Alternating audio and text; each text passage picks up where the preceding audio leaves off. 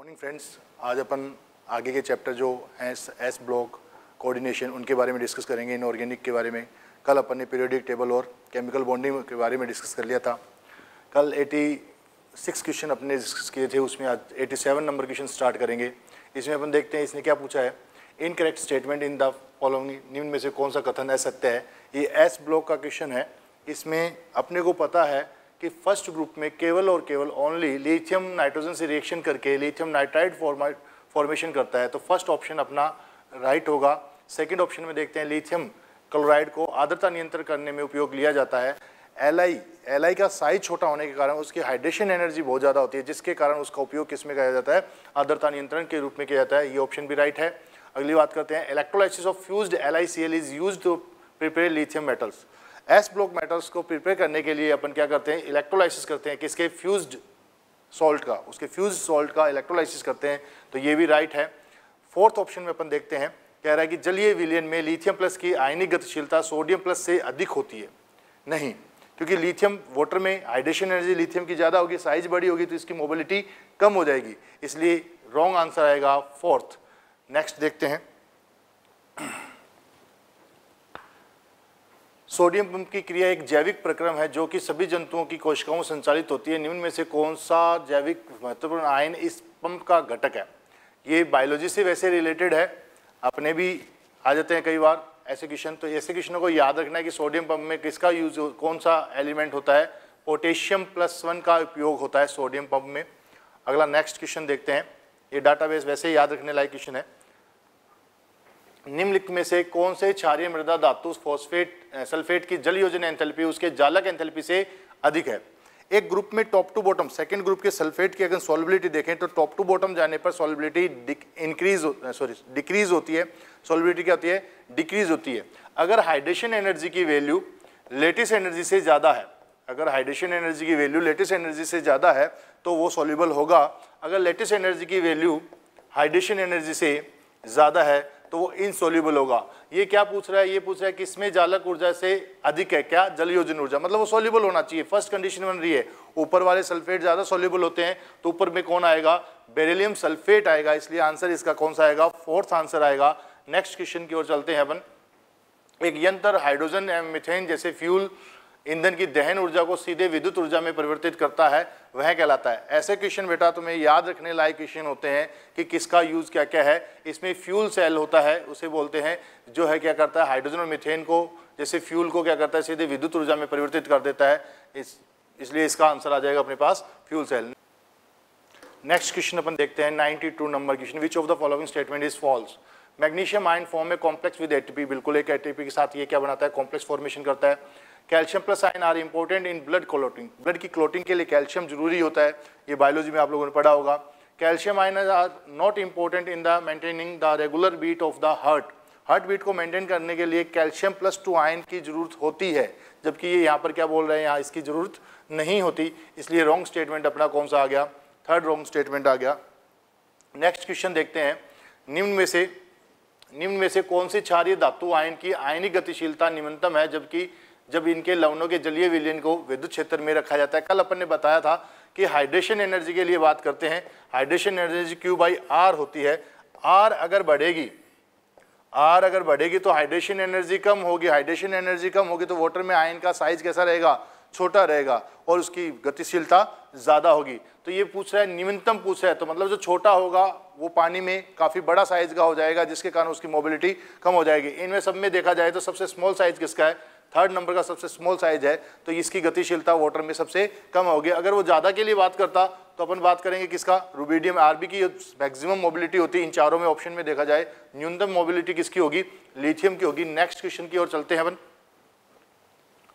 Which of the following oxide is most acidic in nature top to bottom जाने पर top to bottom जाने पर basic nature increase होती है तो एसिडिक नेचर क्या होगी? डिक्रीज होगी। अगर इनको अरेंज किया जाए beryllium oxide magnesium oxide calcium oxide और बेरियम ऑक्साइड। तो अपन इसमें देखते हैं कि टॉप टू बॉटम जाने पर acidic nature acidic nature decrease होती है, बेसिक नेचर इंक्रीज होती है। तो मैक्सिमम एसिडिक कौन होगा? बेरेलियम ऑक्साइड होगा। बेरेलियम ऑक्साइड वैसे तो नेचर में एम्फोटेरिक नेचर का होता है, पर ये तुलनात्मक रूप में पूछ रहा है तो अच्छा बेसिक एसिडिक कौन होगा? बेरेलियम ऑक्साइड होगा। नेक्स्ट क्वेश्चन की ओर चलते हैं। Next question 95 enzyme that utilise वह एंजाइम जो एटीपी का उपयोग फॉस्फेट के स्थानांतरण में करता है, उसे सहकारक के रूप में एक क्षारीय मृदा धातु की आवश्यकता होती है एम है। ऐसा क्वेश्चन जो है बायोलॉजी से रिलेटेड क्वेश्चन है ये ज़्यादातर इसके यूज़ होते हैं। तो इनको याद रखने लायक है कि मैग्नीशियम का यूज़ सहकारक के रूप में किया जाता है। इसका यूज़ किया जाता है? मैग्नीशियम का यूज़ किया जाता है। नेक्स्ट क्वेश्चन की ओर चलते हैं। निम्नलिखित में से कौन सी उभयधर्मी ऑक्साइड है? एस ब्लॉक में बेरिलियम के ऑक्साइड और हाइड्रोक्साइड होते हैं, वो एम्फोटेरिक नेचर के होते हैं। जो किसका डायगोनल रिलेशनशिप रखता है, किसके साथ? एल्यूमिनियम के साथ। तो बेरिलियम के हाइड्रोक्साइड एंड ऑक्साइड कैसे होते हैं? एम्फोटेरिक नेचर के होते हैं। अपन नेक्स्ट क्वेश्चन की ओर चलते हैं। जल की स्थायी कठोरता हटाने के लिए प्रयुक्त विधि है। The method use for remove temporary hardness of water इसके लिए एक स्पेशल बात करते हैं। क्लार्क मेथड का यूज़ किया जाता है। किसका यूज़ किया जाता है? क्लार्क मेथड का यूज़ किया जाता है। अस्थायी कठोरता हटाने के लिए ये सिंपल तुम्हें आपको याद रखना है। तो इसके लिए आंसर आ जाएगा क्लार्क मेथड नेक्स्ट क्वेश्चन देखते हैं। अब यहाँ से क्वेश्चन जो स्टार्ट हो रहे हैं, ये कोऑर्डिनेशन केमिस्ट्री के क्वेश्चन स्टार्ट हो रहे हैं। कोऑर्डिनेशन केमिस्ट्री भी एक अच्छा टॉपिक है, जो अपने क्वेश्चन हर साल दो क्वेश्चन या एक क्वेश्चन हमेशा आता है रेगुलर आता है। इसलिए इस पर थोड़ा ध्यान दें। निम्नलिखित में से किस स्पीसीज को चुंबकीय आगुन एक पॉइंट सात तीन है? चुंबकीय आगुन म्यू दे रखा है म्यू एम दे रखा है, कितना दे रखा है? वन पॉइंट सेवन थ्री दे रखा है। इसका मतलब क्या हुआ? इसके पास number of unpaired electron number of unpaired electron कितने होंगे? वन होंगे, कितने होंगे? वन अपन चेक करेंगे इसमें कितना? टाइटेनियम पर कितना चार्ज आया? प्लस फोर चार्ज हुआ। प्लस फोर अगर टाइटेनियम पर चार्ज है तो इसके पास अनपेड इलेक्ट्रॉन एन की वैल्यू कितनी आएगी? ज़ीरो आएगी। कितनी आएगी? ज़ीरो कोबाल्ट प्लस यहाँ पर कोबाल्ट प्लस टू में है। कोबाल्ट प्लस टू में कोबाल्ट प्लस टू में वीक लिगेंड है। तो कोबाल्ट प्लस टू में नंबर ऑफ़ अनपेड इलेक्ट्रॉन कितने होंगे? फोर वाले इलेक्ट्रॉन बाहर रिमूव हो जाएँगे। डी में वैसे के वैसे रहेंगे। नंबर ऑफ़ अनपेड इलेक्ट्रॉन आएँगे थ्री ऐसे ही अपन इसके लिए बात करते हैं। कॉपर प्लस टू है। कॉपर प्लस टू में अनपेड इलेक्ट्रॉन कितने आएँगे? एन की वैल्यू आएगी वन तो अपना आंसर क्या आ जाएगा? थर्ड आंसर आ जाएगा। नंबर ऑफ़ अनपेड इलेक्ट्रॉन हो गए वन जिसके लिए चुंबकीय आगुन का मान कितना आ जाएगा? वन पॉइंट सेवन थ्री आ जाएगा। तो अपना आंसर थर्ड आ जाएगा। नेक्स्ट क्वेश्चन देखते हैं। नेक्स्ट क्वेश्चन की ओर चले। ये क्वेश्चन तुम पहले मॉल कॉन्सेप्ट में कर चुके हो। विनय यादव सर ने आपको करवा चुके हैं। थोड़ा मॉल कॉन्सेप्ट इसमें रिलेटेड है। तो आप ये वहाँ क्वेश्चन कर चुके हो। तो वहाँ देख लेना है इस बार। नेक्स्ट क्वेश्चन देखते हैं। निम्न संकुलों में से जो शून्य क्रिस्टल क्षेत्र स्थायीकरण ऊर्जा प्रदर्शित करता है, कौन सा है? ऐसा क्वेश्चन कभी भी आता है तो अपने को सी का जो डाट वो है फॉर्मूला है, उसको रख कर देखेंगे। अगर अपने पास T2G और EG दोनों में समान इलेक्ट्रॉन अपने को मिलते हैं तो उसके लिए क्या हो जाता है? सीएफएससी क्या हो जाती है? स्थायीकरण ऊर्जा का वैल्यू कितनी आ जाती है? ज़ीरो आ जाती है। कितनी आ जाती है? ज़ीरो इसमें अपन देखते हैं। नेक्स्ट क्वेश्चन देखते हैं। निम्न संकुलों में से एक जो शून्य क्रिस्टल क्षेत्र स्थायीकरण ऊर्जा प्रदर्शित करता है। ऐसे क्वेश्चन का आंसर अपन ईजी और टू टू जी में उपस्थित इलेक्ट्रॉनों के बेस पर देते हैं। अपन देखेंगे जिसमें ईजी और टी टू जी में दोनों में इलेक्ट्रॉन सेम होंगे, जिसमें सेम इलेक्ट्रॉन होंगे, उनके लिए शून्य क्रिस्टल क्षेत्र स्थायीकरण ऊर्जा शून्य आएगी। देखते हैं किसमें है।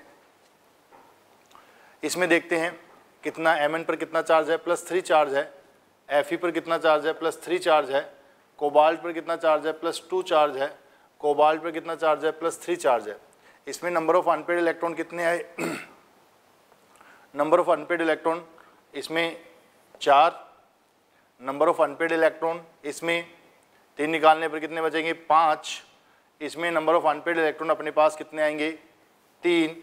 इसमें नंबर ऑफ़ इलेक्ट्रॉन अपने पास कितने आएँगे?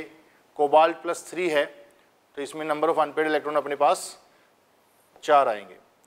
टोटल नीचे वाले ऊपर वालों में कंप्लीट इलेक्ट्रॉन फिल करने के लिए तो आंसर अपना आ जाएगा सेकंड आंसर आ जाएगा। क्वेश्चन नंबर 101 देखते हैं, क्या कह रहा है? निम्न में से कौन से संकुल का उपयोग प्रति कैंसर कर्मक के रूप में होता है? इसमें अपने एन से इसके यूज़ दे रखे हैं, किनके कॉम्प्लेक्स कंपाउंड के। अपन cis P T C L two N S C का होल्टवाइस का उपयोग किसमें कैंसर के लिए किया जाता है, कैंसर के उपचार के लिए किया जाता है तो इसमें अपना आंसर आ जाएगा सेकेंड आंसर आ जाएगा। नेक्स्ट क्वेश्चन देखते हैं अपन।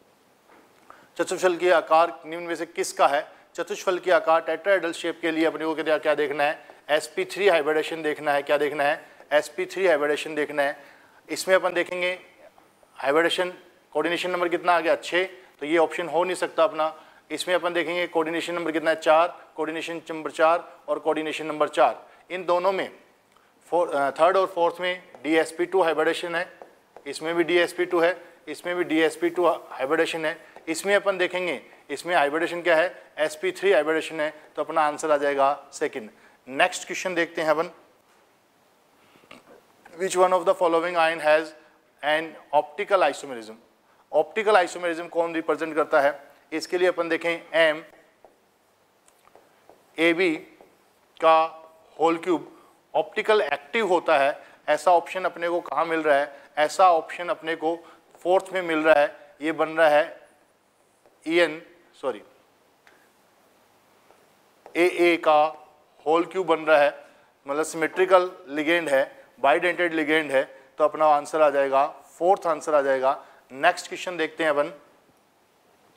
Which of the following complex is not expected to absorb visible light ऐसा क्वेश्चन जब भी आता है लाइट के लिए देखना होता है तो अपने को नंबर ऑफ़ अनपेड इलेक्ट्रॉन देख लेते हैं। अगर किसी के पास अनपेड इलेक्ट्रॉन नहीं है तो विजिबल लाइन को एब्जॉर्व नहीं करेगा। नंबर ऑफ़ अनपेड इलेक्ट्रॉन किसमें नहीं है, इसमें देखते हैं अपन। स्ट्रॉन्ग लिगेंड है प्लस टू चार्ज आ प्लस टू चार्ज आ गया।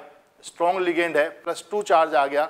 स्ट्रॉन्ग लिगेंड क्या करेगा? पेयरिंग कर देगा। तो नंबर ऑफ़ अनपेड इलेक्ट्रॉन इसमें नहीं मिलेंगे अपने को। इसमें नंबर ऑफ़ अनपेड इलेक्ट्रॉन है। इसमें नंबर ऑफ़ अनपेड इलेक्ट्रॉन है, इसमें नंबर ऑफ़ अनपेड इलेक्ट्रॉन है तो अपना आंसर आ जाएगा थर्ड आंसर आ जाएगा, जिसमें number of unpaired electron zero है, क्योंकि इसमें पेयरिंग हो जाती है पेयरिंग होने के कारण क्या हो जाएगा?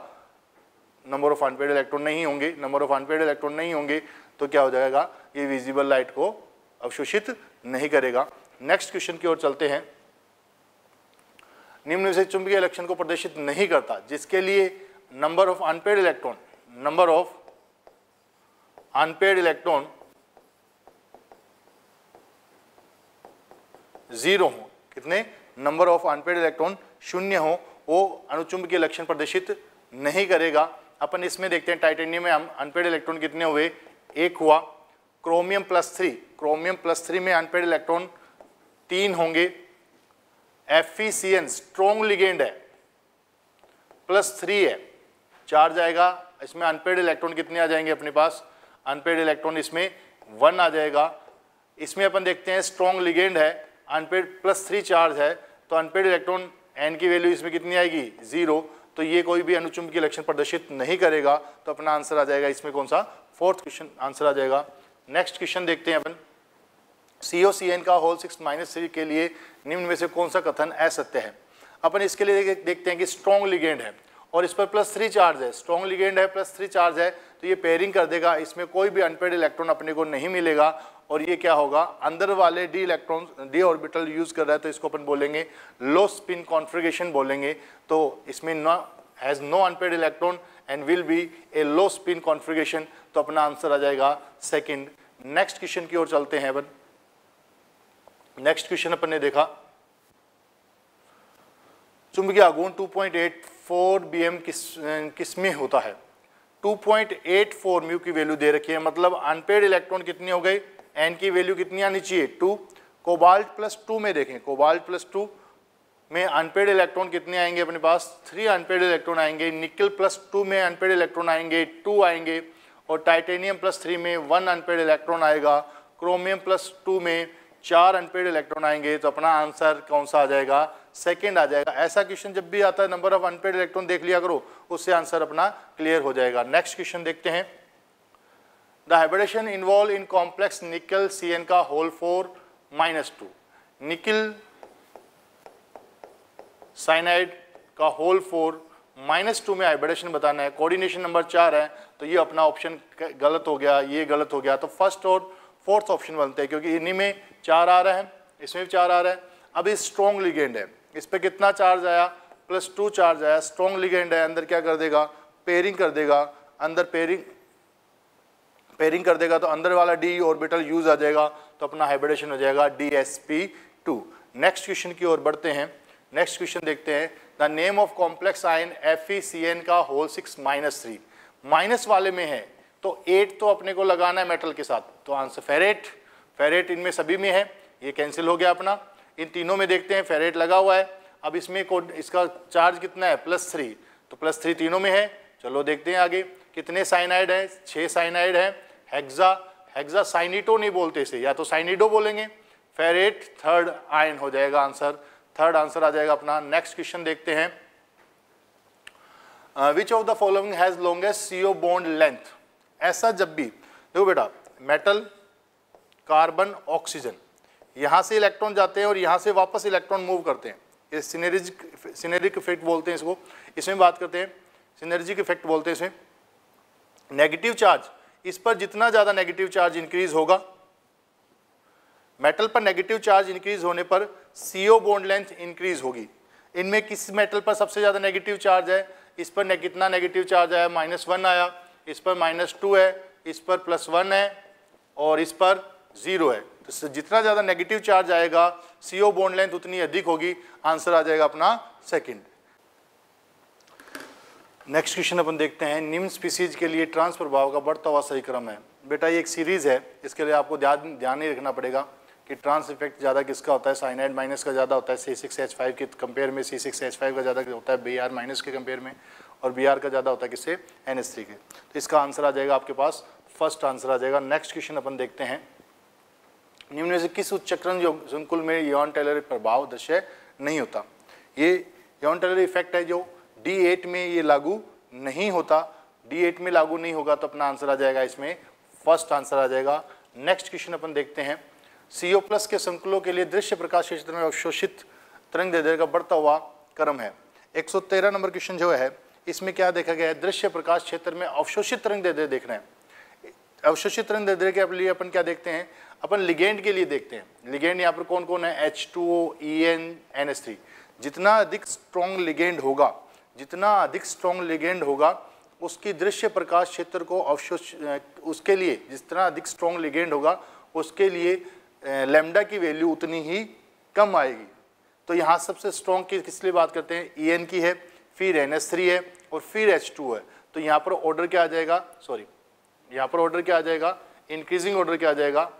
ये आ जाएगा कि ई एन सबसे कम तरंग दे दे मतलब एनर्जी ज़्यादा होगी इसमें और सबसे ज़्यादा तरंग दे देगा कौन? अवशोषित करेगा एच टू करेगा। नेक्स्ट क्वेश्चन तो इस, इसमें आंसर आ जाएगा अपना फोर्थ नेक्स्ट क्वेश्चन के देखते हैं। सिग्मा अबंधित कार्ब धात्विक यौगिक का उदाहरण है। इसमें अपन देखेंगे गिन्यार अभिकर्मक जो होता है, ये सिग्मा बॉन्डेड सिग्मा बंधित कार्ब धात्विक यौगिक है, इसलिए इसका अपना आंसर आ जाएगा फ़र्स्ट आंसर आ जाएगा।